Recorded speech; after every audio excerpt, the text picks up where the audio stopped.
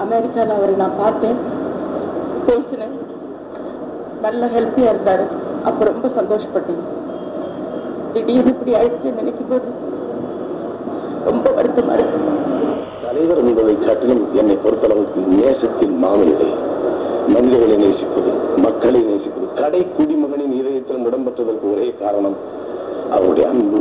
அதற்கு மேலாக அந்த அதாவது கொடுத்து சிறந்த கரம் என்று சொல்வார்களே அது வார்த்தைக்காக போடப்பட்டது எனவே அது இதிகாசங்களிலும் இலக்கியங்களிலும் கேள்வி கேள்விப்படுகிறோம் ஆனால் வாழ்க்கையில் யதார்த்தமாக கொடுத்து சிறந்த கரம் என்றால் ஒரே கரம் அது மக்கள் திலகத்தின் கரம் தான் அதனால் தான் இன்று தமிழ்